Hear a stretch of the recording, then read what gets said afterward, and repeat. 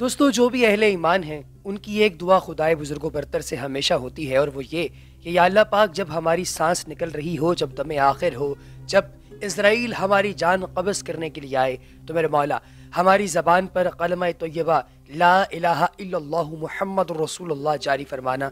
ए मेरे मालिक मौला, हम लोगों को मौत से पहले मौत की तैयारी करने की तोफ़ी अता फरमाना। और इस वीडियो क्लिप में कुछ ऐसा ही दिखाया जा रहा है। एक आलम दीन जिनसे अल्लाह तबारक ताली की ज़ात राज़ी थी, इनको अल्लाह तबारक ताली की ज़ात ने इतनी मोहलत दे दी, इन्हें इतना वक्त दे दिया कि ये लोगों को अपनी जान कब्ज़ होने से महज चंद लम्हात पहले कह रहे थे कि सबसे अफजल ज़िक्र ला इलाहा इल्लल्लाह है।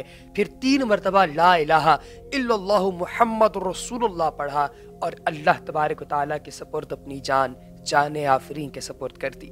अल्लाह अकबर। ला इलाहा